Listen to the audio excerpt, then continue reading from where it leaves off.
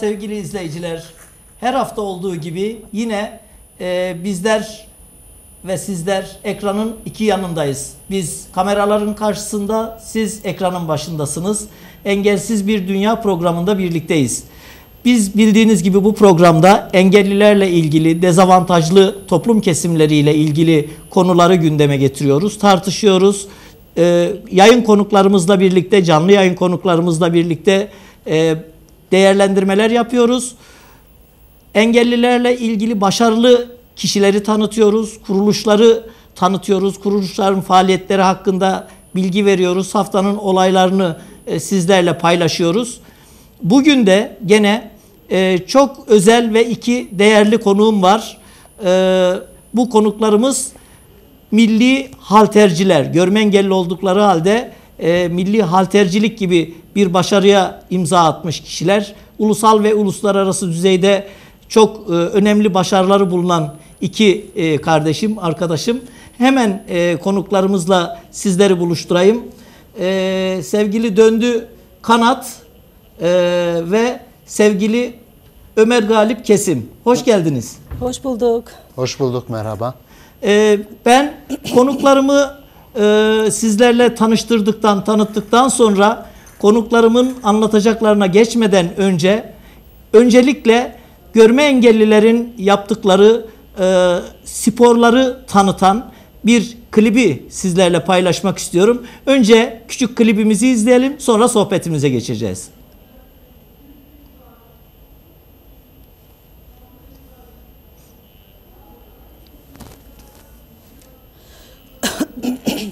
Döndüye doğru biraz yaklaş Galip. Hemen yaklaşıyorum. Klibi oraya girmiş oluyoruz. Onu girecek sonra arkadaşlar. Evet. Evet. Çok geriye gitme. Tamam. Çok geriye gitme.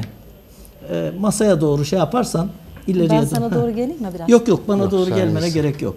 Ha. Ö- Ömer bana gelsin. evet, tamam.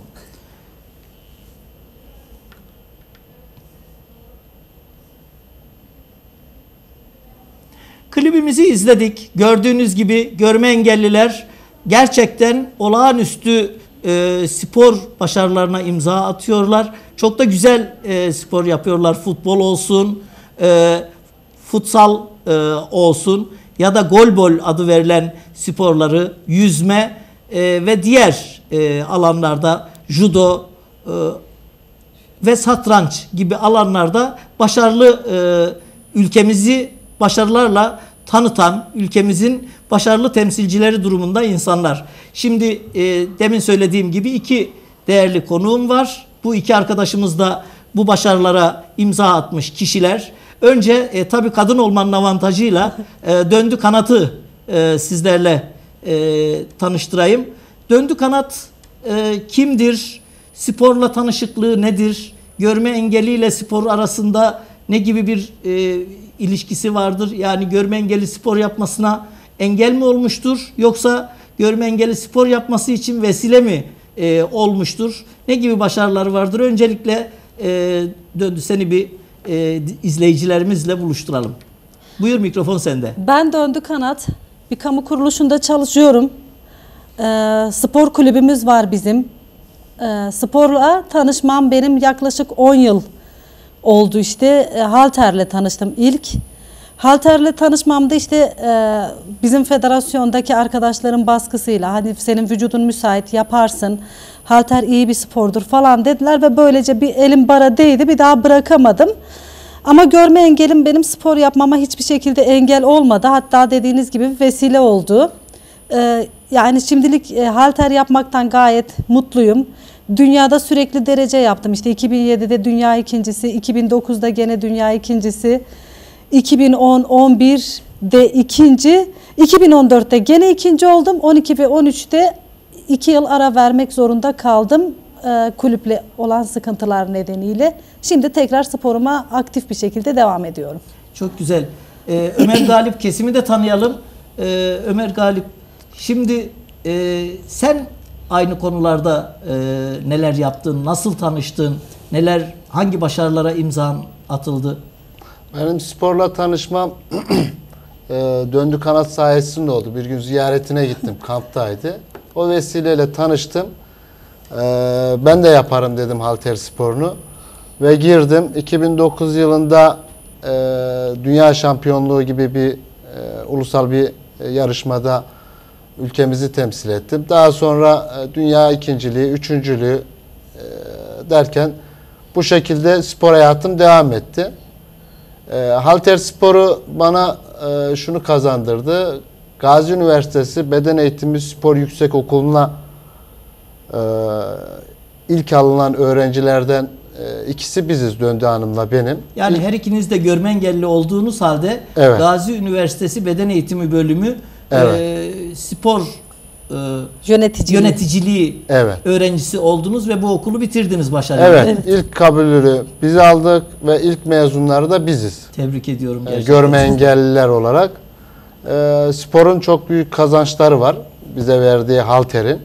E, bu da en büyük işte e, okulumuzu bitirdik ve şu anda e, mesleğimizi yapmak üzere görev bekliyoruz devletimizden. Evet, spor yöneticisi olarak Evet. atanmayı bekliyorsunuz. Evet.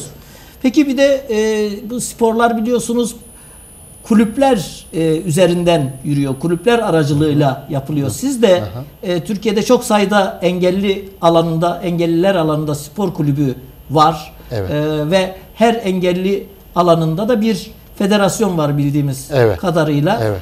E, siz de Döndü Hanım'la birlikte yöneticisi olduğunuz bir e, kulübü kurdunuz. Evet. Biraz da kulübünüzü anlatabilir misiniz? Ee, biz Galip Engelliler Spor Kulübü adı altında e, başarılı sporcular bir araya gelip dedik bir kulüp kuralım. Madem bu sporu yapıyoruz hem okul hem de okuyoruz. Ee, hem okulumuzu okuduğumuz görmüş olduğumuz dersleri hayata geçirelim. e, fiilen yaşayalım. Hem de sporumuza devam edelim ve bizden sonraki gelen nesillere de sporu yaptırmak için bir çaba harcayalım diye, bir örgütleşelim diye bir Galip Engelliler Spor Kulübü adı altında Görme Engelliler Spor Federasyonu'na bağlı olarak e, federasyonumuza bağlı olan tüm spor branşlarını e, yapmaktayız kulübümüzde. Peki e, döndü.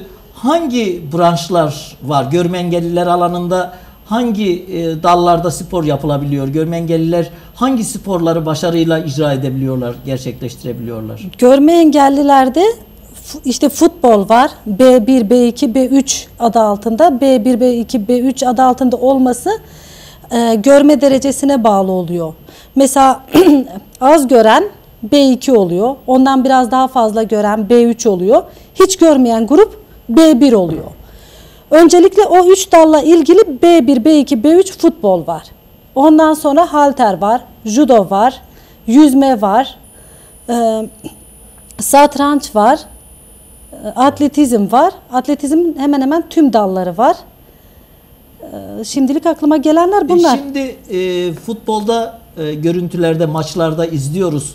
Bazen e, televizyon kanallarında, ulusal ve uluslararası televizyon kanallarında görme engelliler e, spor yarışmaları yayınlanıyor. Hatta canlı yayınlara e, rastladık. Futbolda gözlerini bağlıyorlar. Yani gözleri bağlı olarak insanlar topun peşinde koşuyorlar, e, gol atıyorlar, e, maç yapıyorlar, birbirlerine çalım atıyorlar. Yani çok ilginç bir şey. Bu nasıl oluyor?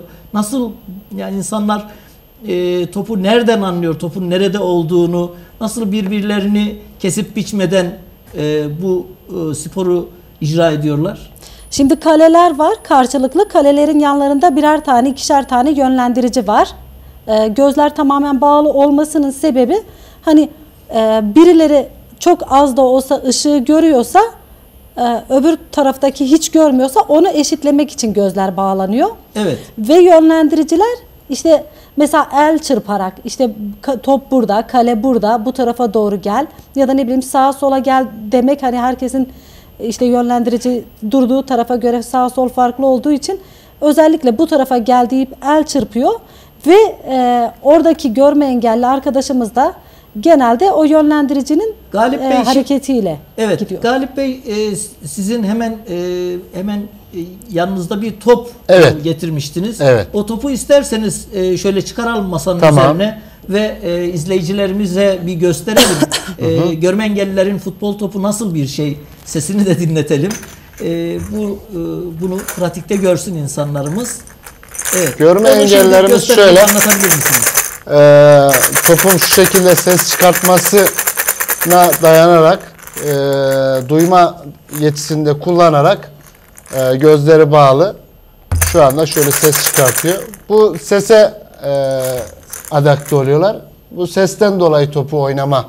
Top yuvarlandıkça ve vuruldukça ses Tabii çıkarıyor. şöyle yuvarlandıkça top vurdukça ses çıkarıyor. Ses çık- bir de bu top çıkartıyor. sanırım çok zıplamıyor. Onun için çok yerden e, Evet, oynanıyor. çok. Çok, havada Evet. e, bir e, futbol oyunu yok. evet E, evet. Kaleler daha e, küçük, biraz halı saha vari evet diyebilir miyiz? Evet halı sahalarda oynanıyor zaten. Yani özel bir e, normal futbol sahasında oynanmıyor. Oynanmıyor e, e, görme engellilerin spor e, futbolu. E bir de e, futbolun yanı sıra golbol diye e, Türkiye insanının çok fazla bilmediği, çok Evet. fazla tanımadığı bir spor dalı var ve ağırlıkla görme engellilerin e, oynadıkları bir spor dalı. E, rol aldıkları, yarıştıkları, başarılar elde ettikleri e, bir spor dalı. Bu golbol nasıl bir şey? Golbol e, görme engellilerin 1960 yılında icat edilmiş Alman ve İngiliz e, vatandaşlarının icat etmiş olduğu e, ikinci Birinci Dünya Savaşı'ndan sonra icat edilen bir spor branşı. Çok da güzel bir spor branşı. Bu takım sporu olarak geçer. Ü- Evet. Üçer kişiden iki takım halinde oynanır. E, şu şekilde. Bir top daha getirdiniz. Evet bir top daha getirdim. Ee, bu da golbol topu dediğimiz biraz daha e, futbola göre ağır. Yalnız bu e, elle e, oynanan bir spor branşı. Ee, Salon sporu değil mi bu? evet bu salon sporudur. Kliplerimizde de e, görürsünüz. Ülkemizin e, golbolde e, son 2010 e, 2012 Paralimpiklerde e, bu golbol branşında dünya, e, para- paralimpik üçüncülüğü var. Türkiye'nin. Evet, Türkiye'nin e, golbol branşında bir e, üçüncülüğü var, üçüncülük derecesi var. E, yeni olmasına rağmen ülkemiz bu konuda e, golbol konusunda e, gayet başarılı. Evet. Futbolu ve golbolu iyi kötü e, izleyicilerimize anlatabildik. Aslında bir hayli anlattık. Toplarını da e, göstermek suretiyle. E, zaten görüntülerimizde de izleyicilerimiz bunu izliyor. Topları isterseniz alalım. E, sizin görüntüleri e, bozmasın. E, izleyicilerimiz topu gördüler Bu yeterince. futbol topumuz, evet. E, şimdi gol bol topu. ee, bir de önünüzde bir başka e, şey var satranç. Şimdi satranç e, biliyorsunuz e, çok sayıda e, satranç taşıyla oynanan işte bildiğimiz kadarıyla kalenin, şahın, vezirin, filin, atın, piyonların olduğu e, bir e, spor aslında biraz e, düşünme sporu, biraz akıl yorma, biraz düşünme yetisini geliştirme ve plan kurma aslında savaş sporu, savaşın bir çeşit oradaki kareler üzerinde gerçekleştirilmesi oluyor. İki e, takım karşı karşıya, iki ordu karşı karşıya gelmiş gibi oluyor. Ama e, sizin görme engellilerin e, satranç takımının diğer normal satrançlardan farkı nedir? Yani bu kareler farklı renklerde e, biliyorsunuz. Evet. Görme engelliler bu kareleri nasıl birbirinden ayırt ediyor? Ya da taşlar neden devrilmiyor? Devriliyor mu? Devrilmiyor mu? Evet. Nasıl oynuyorlar? Şimdi e, görme engellilerin e, diğer e, normal satrançtan hiçbir farkı yok. Aynı oyun kuralları geçerli. Yalnızca görme engellilerin satranç takımı e, e, beyaz kareleri yüksek, siyah kareleri alçak. Görme engelliler bu şekilde e, hamlelerini yapabiliyorlar. Beyaz ve siyahı ayırabiliyorlar. Evet. Taşlarında da beyaz taşları normal taş, siyah taşlarının üzerinde şu şekilde e, görme engellilerin siyah olduğunu anlayacağı şekilde e, küçük kabartmalar var. Evet. Ve taşların yerinden düşmemesi, kaymamasını engellemek amacıyla da altında şöyle küçük bir pim dediğimiz Buh gibi. Evet mıh gibi kaymaması ve hamlenin yerini kaybetmemesi açısından karelerin içerisine mıh gibi çakılıyor. Karelerin Yapacağımız- ortasında delikler var. Evet. Ee, satranç taşlarının altındaki mıh gibi bölümler Evet, o deliklere için. girmek Tabii. suretiyle Evet. e, sabitleniyor. Onu oradan çıkarıp oynayacakları Hamlesini- kareye götürüp takıyorlar. Evet hamlesini yapabiliyor. Peki e, normal satrançta e, gözle bakıldığı için dokunulan taşın oynanması, gibi bir Oynanması şey söz gerekiyor. konusu. Ama e, herhalde bu insanlar e, dokunmak suretiyle oynayacakları için Evet. e, bol bol e, bu taşlara Tabii, dokunmak doku- fakat devrilmemesi için tabii. de e, bu şekilde bir uygulama var. Önümüzdeki hafta içerisinde 26'sıyla 30 arasında e, döndü.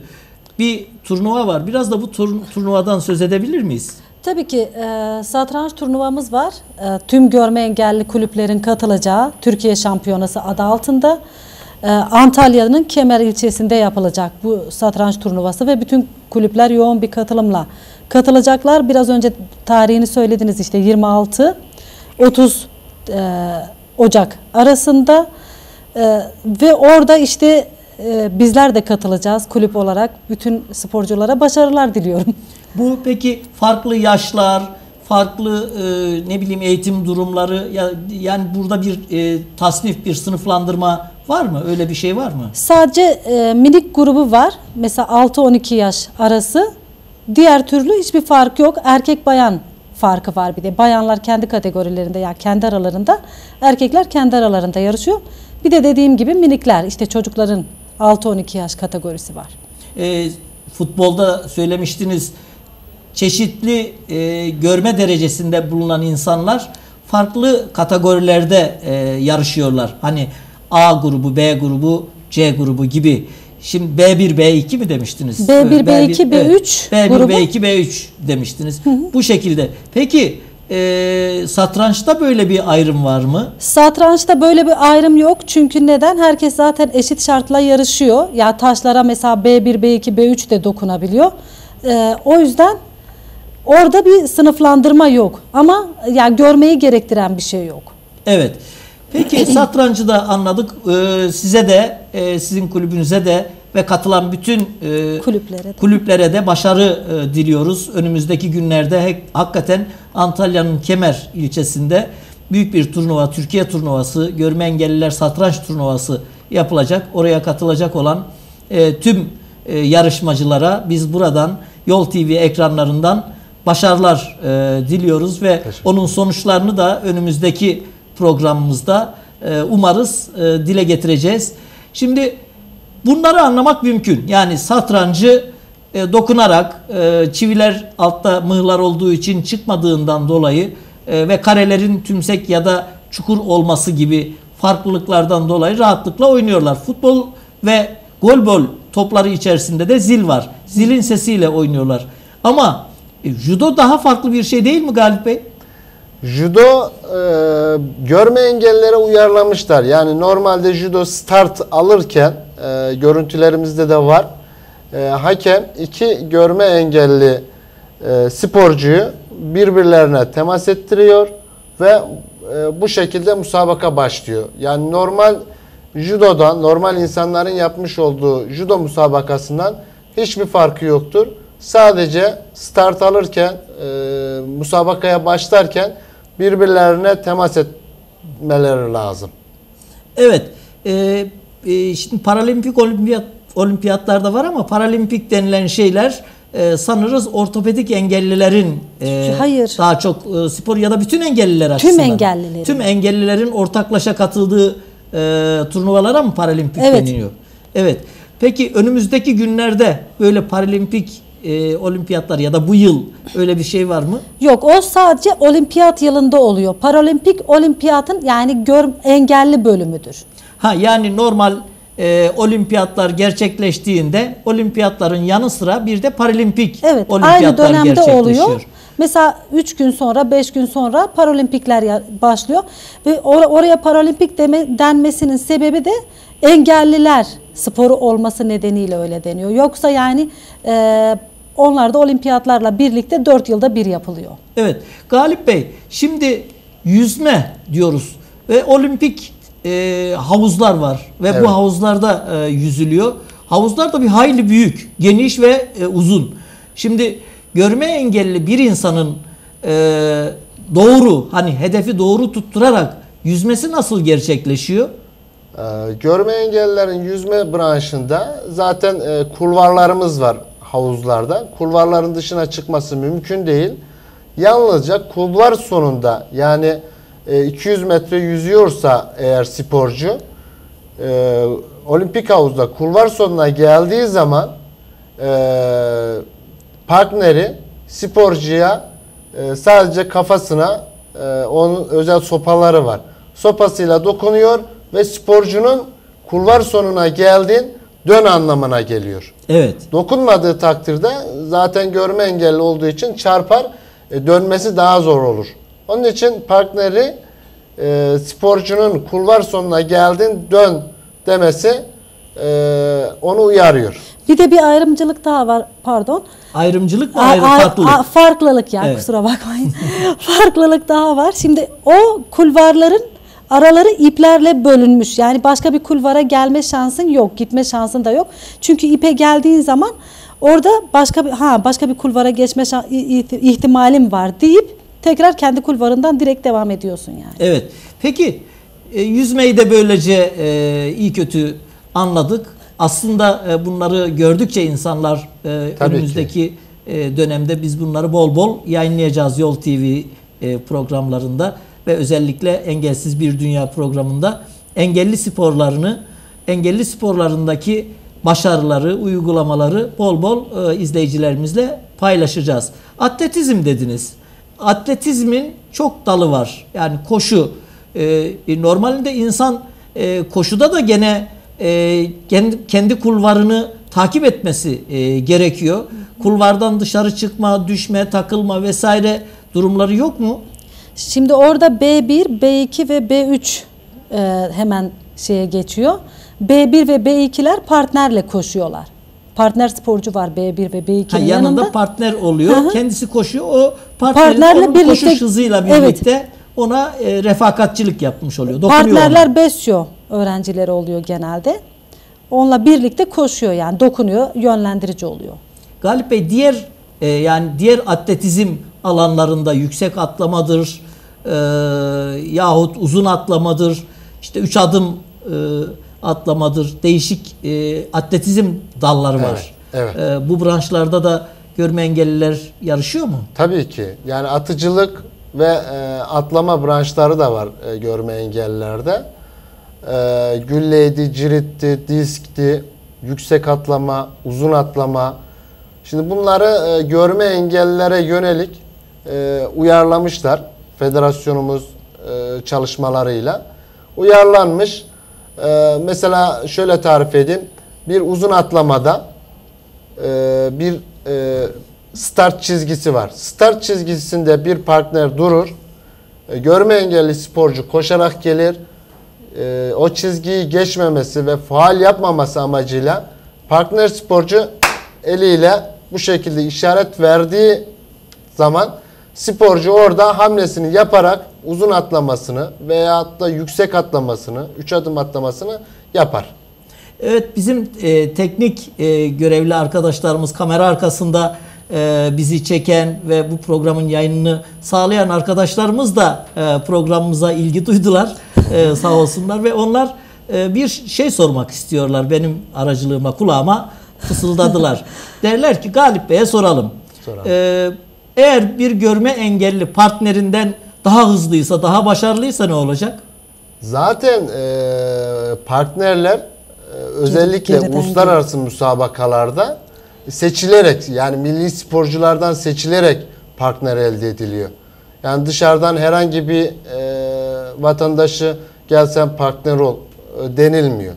Ha, yani, Yani gerçekten partner- başarıları, tabii, üstün başarılarıyla kendisini kanıtlamış, Tabii. derece yapan kişiler Tabii. partner olduğu için zaten e, onlar görme engellilerden. İnşallah umarız ki e, görme engelliler bu partnerlerini de aşacak başarılar göstersinler. Evet. Peki görme Şimdi öyle engel- bir şeyimiz var. Pardon sözünüzü. Tabii, Son aa, dünya şampiyonasında sporcumuzun bir tanesi e, 1500 metrede birinci olarak bitiriyor. Bir tanesi de ikinci olarak bitiriyor. Partneri sporcuyu geçiyor. Çünkü neden? E, finish noktasında partner sporcudan önce girerse faal sayılıyor. Evet. O heyecanla partner e, sporcudan önce giriyor ve sporcumuz diskalifiye, diskalifiye oluyor. E, maalesef hem ödülünden hem e, şeyinden yararlanamıyor. Evet. Peki e, başka spor dalları var mıydı bunun Tabii halterimiz var. Görme engellilerin yapmış olduğu şu anda Türkiye'de federasyonumuza bağlı olarak görme engelliler 8 branşta faaliyet göstermekte. Bir daha sayalım bunları. Ee, atletizm, judo, halter, golbol, futsal, e, yüzme, e, şu anda e, çok fazla aktif, aktif değil ama tandem bisiklet dediğimiz e, spor branşımız var. Daha yeni e, adapte edilmeye çalışıyor. Satranç. E, bu spor branşlarında faaliyet gösteriyoruz. Evet. Şimdi e, hepsini anlattık da anlattık da esas hani turpun büyüğü e, torbada kaldı derler. E, şimdi siz ikiniz de e, halter sporcususunuz. Diğer dalları anlattık. Peki görme engellilerin halter sporunun e, normal diğer insanların hal- halter sporundan farkı var mı? Bazı farkları olması gerekiyor sanırım.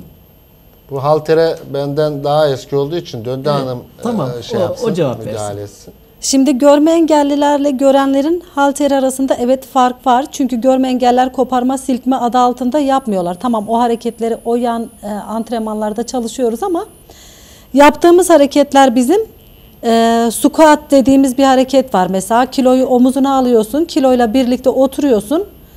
Ondan sonra kalkıyorsun. O birinci hareket oluyor. İkincisi bench press dediğimiz bir hareket var. İşte sehpaya yatıyorsun. Kil- Kiloyu göğsüne koyuyorsun. Hakemin start demesini bekliyorsun. Start dedikten sonra kiloyu direkt böyle yukarı kaldırıyorsun. Üçüncüsü de şey e, deadlift dediğimiz yani ölü kaldırış anlamına geliyor İngilizce'de. Onu kiloyu göbeğin üzerine kadar çekiyorsun.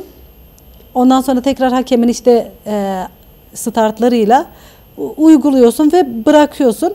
Görme engellerin halteri de bu şekilde yapılıyor yani. Peki senin e, başarıların ne, kaç kiloyu kaldırabildin bugüne kadar? E, Ben 3 dalda 210 kilo kaldırdım işte son dünya şampiyonasında. Ee, squat'ta 65, e, bench'te 45 ve e, şeyde de yerden de 95 çektim. Evet. Ee, Ömer Galip sen e, ne kadar kaldırdın? Senin de e, derecelerin var biliyorum. Tabii benim dünya derecelerim var. Birincilik, ikincilik, üp- Benim de. üçüncülük hepsini yaşadım. Ee, Dünya rekortmeniyim aynı zamanda deadlift e, branşında. 255 kiloyla e, dünya rekortmeniyim. E, Halter güzel bir spor. Evet. Güzel bir spor. Tavsiye ederim insanlara. Yani zor bir spor yani insanın herhalde vücudu kas bağlıyor öyle oluyor kolları e, kas bağlıyor. E, şimdi ben e, küçüklüğünden beri tanırım döndü kanadı. Küçücük böyle zayıf bir kızcağızdı çelimsiz bir şeydi. Ama halter sporuna başladıktan sonra kolları maşallah benim kolumun iki e, katı kadar şişebilen kollara sahip oldu.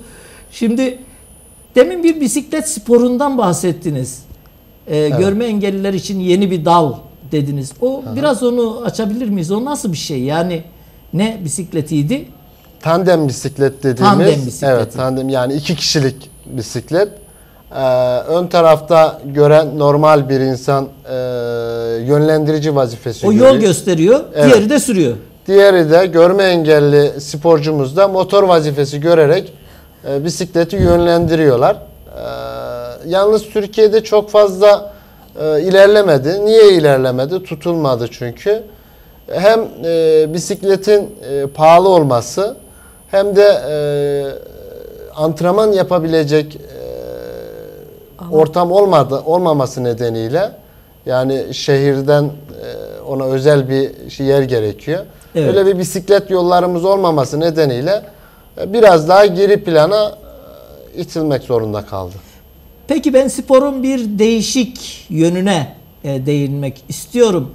E, görme engelliler bu kadar spor yapıyor. Aslında diğer engel gruplarının da yaptığı pek çok e, sporlar var. Tekerlekli sandalyeyle e, spor yapanlar var. İşte işitme engellilerin yaptığı sporlar var.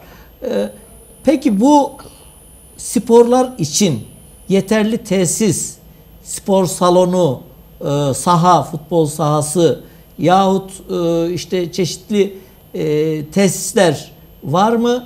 Ya da e, var olan tesislerde görme engellilere yönelik e, özel donanımlar, özel bölümler e, ne derece var? Bu konuda bir sıkıntı çekiliyor mu?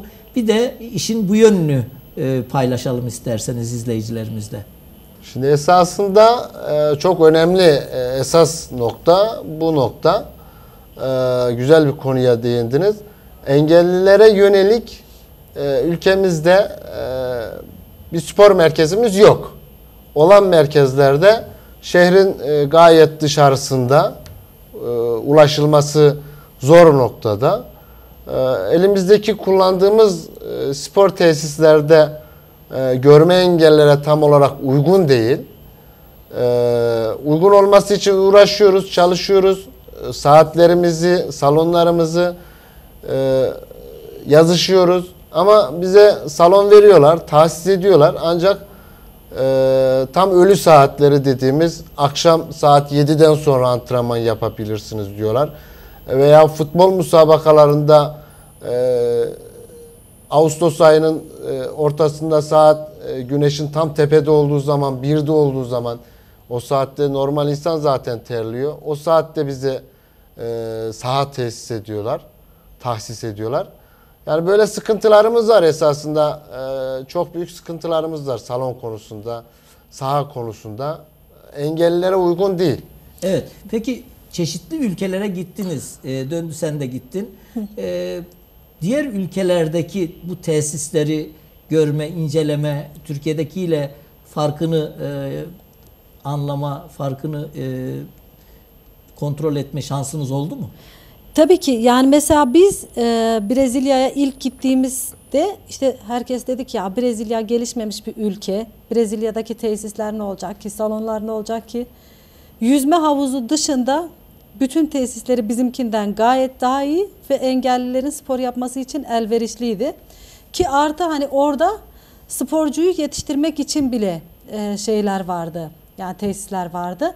Ama bizim burada biz Ömer'le işte ve birkaç arkadaş kendimizi ispatladıktan sonra ancak e, diğer sporcularla antrenman yapabiliyoruz. Yani bir sporcunun yetişmesi için e, antrenman yapacak imkan yok burada. Amerika'da zaten herkes böyle e, engelliye yönelik çalışıyor. Ondan sonra e, Çin'de özellikle öğrenciler e, sporcularla birlikte, engelli sporcularla birlikte antrenman yapıyor. Aman bunlar işte spor yapabilsinler. Bunlara yönelik bir sürü tesisimiz var. Bu tesisler boş kalmasın e, şeklinde. Ama bizim ülkemizde engelliler adı altında yani görme olsun, işitme olsun, ortopedik olsun bu konuyla ilgili hiçbir tesisimiz yok. Çok üzgün bir e, çok üzgünüm bunu anlattığım için ama engeller bizim ülkemizde hiçbir şekilde düşünülmüyor. Demek ki e, Türkiye'de engelliler ve görme engelliler tesislerin yetersizliğine, çalıştırıcıların azlığına ve bilgilerinin bu alandaki bil- bilgi birikimlerinin de yetersizliğine, devletin desteğinin e, çok az olmasına rağmen çok zor koşullarda ulusal ve uluslararası düzeyde önemli başarılara e, imza atıyorlar. Öyle mi? Kesinlikle öyle çünkü şey yani hani biz imkansızlık içinde imkan yaratmaya çalışıyoruz. Yani birimiz işte iş yerimizden fedakarlık ediyoruz, birimiz e, evden fedakarlık ediyoruz, birimiz şeyden. Hadi tamam biz bunları yaparız. Fedakarlıklarımız da bizim e, olacaktır. Ama bizim bunların karşılığı ya bir antrenörümüz, bir e, salonumuz, herkesin erişebileceği bir yerimiz olsun istiyoruz. Yani biz şu anda kamp merkezinin birinde antrenman yapıyoruz ama milli sporcu olduğumuz için yapıyoruz. Dışarıdan bir sporcu hayatta giremez. Ya ben engelliyim, gelin burada antrenman yapayım dese hoca diyecek ki yok kardeşim sen kendini ispatlamadın ki neye göre geliyorsun? Evet programın sonuna doğru yaklaştık. Ee, izleyicilerimize, yetkililere ve e, engelli topluluğuna e, ayrı ayrı ya da birlikte e, verebileceğiniz mesajlar, vermek istediğiniz bu ekranlar aracılığıyla, Yol TV aracılığıyla iletmek istediğiniz mesajlarınızı ayrı ayrı alalım. Ben mi vereyim önce? Ee, önce Önce sen e, evet sen ver. Ben şimdi biraz önce işte Ömer de söyledi. Yetkililerimizden ya bitirdiğimiz okulun kadrosunu istiyorum. Yani ben spor uzmanlığı yapmak istiyorum. Bu okulu bitirdiysem ve engelliysem engellinin dilinden daha iyi anlarım. Ee, diğer engelli arkadaşlarımdan da eve kapanmamalarını bir şekilde olsa herkesin yapabileceği bir spor vardır. Bir şekilde o sporun yani bir yerinde bulunmalarını istiyorum. Hani e, evde koşu bandı bile antrenmandır. Evet. Ee, izleyicilerimiz için izleyicilerimize ileteceğiniz mesaj var mı? Yani engelli olmayan yurttaşlarımıza ileteceğiniz mesaj var mı? Enge- Yani engelli yakınlarını, engelli çocuklarını e, spora göndermeleri bakımından hani ya da yönlendirmeleri bakımından sizin e, bu başarınız bir örnektir. Ama sizin dilinizden bir çağrı da herhalde e, burada çok önemli bir e, anlam taşır. Biz kulüp olarak bütün arkadaşlarımızı, görme engelli arkadaşlarımızı e, spor yaptırmak için, eğitmek için e, kesinlikle varız. Bize ulaştıkları takdirde e, onlara yardımcı oluruz. Yakınlarından da onlara destek olmalarını, onlarla birlikte hareket etmelerini, hatta onlara gerekirse partner olmalarını öneriyorum yani. Evet, Galip Bey şimdi sizin e, mesajlarınızı da alalım. E, e, döndü çok e, anlamlı ve önemli mesajlar e, verdi. E, siz de herhalde bir takım mesajlar... Spor başlı başına bir e, yani engelli olarak demeyelim de tüm bireylerimize e, spor sağlıklı yaşamak istiyorsak, sağlıklı düşünmek istiyorsak mutlaka ama ve mutlaka bir şekilde spor yapalım. E, sağlıklı ve rahat düşünebilmek için Değil mi? Sağlıklı kafa, sağlam kafa sağlam vücutta sağlam bulunur. vücutta bulunur. Demek ki e, spor da vücutu sağlam hale getireceği için Evet. e, spor sağlığımız açısından hem beden sağlığımız hem, de ruh sağlığımız açısından açısından. son derece önemli Tabii. diyorsunuz. Ama mutlaka ve mutlaka spor yapalım ve yaptıralım. E, peki engellilere ve yetkililere mesajınız nedir? Yetkililere, e, engellilere, engellilerin dilinden anlayacak, sporu bilen, spor yöneticiliğini bilen, spora yön verebilen insanları, engellileri e, bu merkezlere get, yönlendirmelerini, bu merkezlerde görevlendirmelerini çünkü engellinin halinden engelli anlar. Şimdi engelli paralimpiklerde daha fazla madalya elde etmek istiyorsak, ülkemizin gücünü oralarda daha fazla göstermek istiyorsak engellilere mutlaka ve mutlaka bu fırsatların verilmesini gerektiğini inanıyorum. Evet, ben e, her ikinize de programımıza katıldığınız için çok teşekkür ediyorum. E, Yol TV izleyicilerine çok e, önemli mesajlar verdiniz. İnsanların bilmediği e, ya da yeterince farkında olmadığı konuları bugün paylaştık. E, görme engellilerin ve genel olarak engellilerin yaptıkları sporları, spor dallarını, spor alanlarını, başarılarını e, ve bu e, alandaki ulusal, uluslararası düzeydeki e, çok önemli e, kazanımlarını dile getirdik. Bu konudaki eksiklikleri de ifade ettik. E, insanların spor yapması için engel bir bedeninin ya da e, zihinsel bir engelinin bulunması engel değildir. Öyleyse her yurttaşın, her insanın e, sağlıklı bedene kavuşması, kendisini disipline edebilmesi ve sağlıklı bir düşünce sistemine de erişebilmesi için mutlaka yaşam için spor, kitlesel spor, her alanda spor yapması ve sağlıklı bir birey durumuna e, gelmesi gerekiyor. Engelli insanların da e, bu spordan geri durmamaları, bir araya gelmeleri, kendi yetilerini geliştirmeleri, yetilerini, yeteneklerini başarıya dönüştürmeleri gerekiyor. Örneklerini işte yanımızda iki canlı örneğini burada sizlerle tanıştırdık. Ee, değerli Yol TV izleyicileri, yola yoldaş olanlar isteriz ki Yol TV izleyicileri de yaşamın her alanında olduğu gibi engelsiz bir dünyayı el birliğiyle, güç birliğiyle, akıl birliğiyle yaratabilmek için diğer alanlardan e, başlamak üzere hem eğitimde hem istihdamda hem rehabilitasyonda hem ayrımcılığa karşı mücadelede birlikte olalım. Ama yaşamın her alanında birlikte olurken kendi bedenimizi, kendi ruhumuzu, kendi beynimizi geliştiren, bizi sağlıklı insanlar haline getiren, daha sağlıklı e, yaşamamızı sağlayan sporu asla ihmal etmemeliyiz. Engel spora engel değildir. Öyleyse sporla sağlıklı günlere diyoruz. Önümüzdeki hafta yeniden başka konuyla, başka konuklarımızla birlikte olmak üzere. Hoşça kalın, dostça kalın, yola yoldaş olun.